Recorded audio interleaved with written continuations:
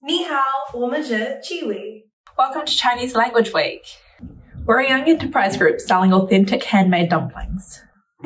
It is Chinese Language Week from the 17th to the 23rd of September. We aim to promote diversity and inclusion in New Zealand communities. National Dumpling Day is on the 26th of September. This is a great excuse to try the best dumplings in town. Chiwi, you can order now through our store view on our Instagram account. Give Chinese a go and take part in New Zealand Chinese Language Week. 谢谢，再见。